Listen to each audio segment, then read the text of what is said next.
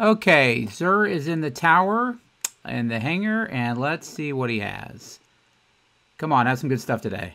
Okay. Two-Tailed Fox. We've actually had that recently. Uh, two tracking rockets for Void and Solar. It's okay. If you don't have it, get it. Feel free. Wormhusk Crown. That's a great uh, hunter exotic to allow you to get your health back.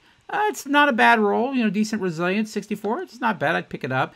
ACO feedback fence. This is really, if you're trying to do a melee build, um, this will really come in handy. Um, good recovery. It's not a bad a bad one. I definitely get that if you don't have it. And Contraverse Hold. This is great if you're trying to work on a Void Warlock build um, where you try to generate grenades. This is definitely great for that. That's a pretty good roll. I would definitely get that one. Let's see what weapons he's got. Okay. And so far, nothing I'm feeling great about. Um, Let's see. Like I said, if you don't have these things, feel free to pick them up.